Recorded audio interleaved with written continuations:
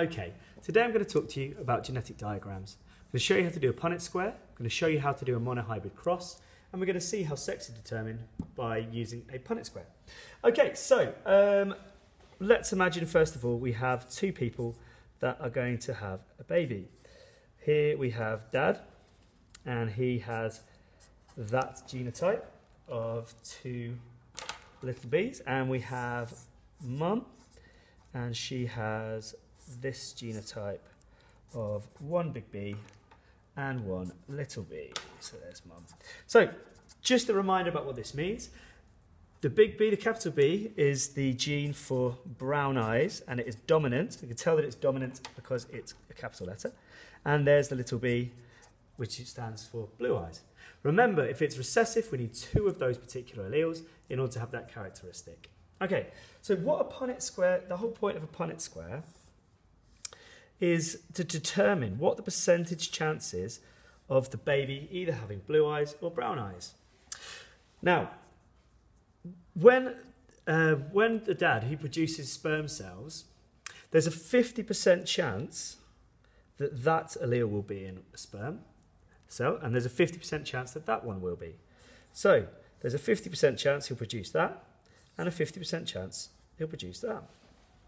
Now, because mum is heterozygous, she has one of each type of allele, there's a 50% chance that her egg cells will contain that B, the dominant allele, and a 50% chance that it will, it will contain that allele, that recessive allele.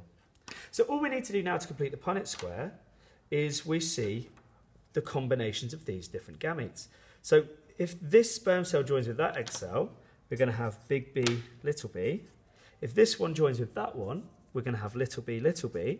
If this one joins with that one, we're going to have big B, little b. And if that one joins with that one, we're going to have little b, little b.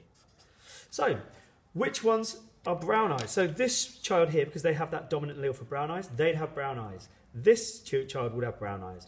This one would have blue eyes. This one would have blue eyes. So what's the percentage chance that they have blue eyes? It's a 50% chance of blue eyes. Please notice, guys, you always use the same letter. Even if, let's say, this was, um, if these didn't start with the same letter, these always do. So it's always the capital of one letter and the lowercase of the same letter. Now, a monohybrid cross shows exactly the same thing. So let's imagine we're dealing with, this time, someone with cystic fibrosis. So cystic fibrosis is a recessive disorder. If someone has that genotype, it means that they are a carrier of cystic fibrosis, meaning they don't have it themselves but they can pass it on. If they have two recessive alleles, they have cystic fibrosis. So let's imagine, let's imagine we have two parents, dad and mum. Now these two genotypes, let's say dad and mum, are both carriers. So neither of them have cystic fibrosis, but both of them have that recessive allele that carry cystic fibrosis that could be passed on to the next generation. So let's just have a quick think. The first thing that you need to do is you need to show the different gametes that would be produced. So 50% of dad's gametes are going to have that C, the capital one, and 50% are going to have that recessive allele, the lowercase one. Please notice if you're using the same letter, make it really clear uh, which one's capital, which one's um, lowercase. I mean, not the same letter, but if they look the same. So capital C and the lowercase c, we need to really make sure they're different sizes. Okay, same with mum. So her two different gametes would be this and this. So what we now need to do is show the different combinations of fertilization.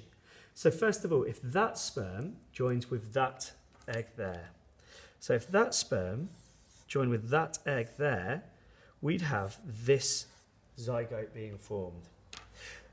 This, however, this sperm could also form, uh, go with that egg. So the next thing in the combination would be that with that, which would form big C, little c. So this person would be a carrier.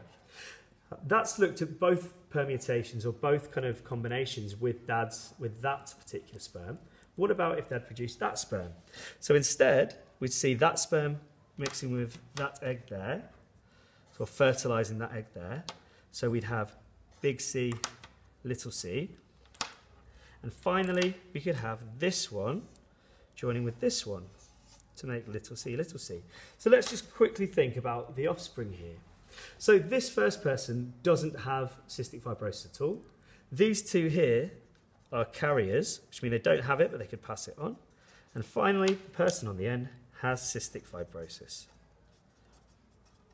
Okay, so I'm going to show you one more thing, which is just how sex can be determined by using a Punnett square as well.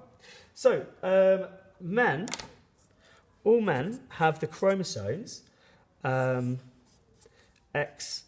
So they have two X chromosomes. On the 23rd chromosome, they're both X's. Whereas women, women's chromosomes, they have an X and a Y chromosome. Now, the Y chromosome is dominant, which means we only need one Y chromosome in order for this person, for, in order for the offspring to be a baby. Uh, to be a baby, to be a woman, to be female. So, let's quickly um, have a look at the Punnett square.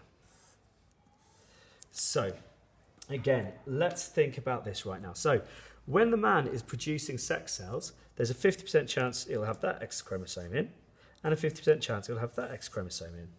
When a woman is producing X cells, there's a 50% chance he'll have that X in, and there's a 50% chance he'll have that Y in there. Oh, wait a minute, sorry, just do that in that colour, makes it a bit easier. Okay?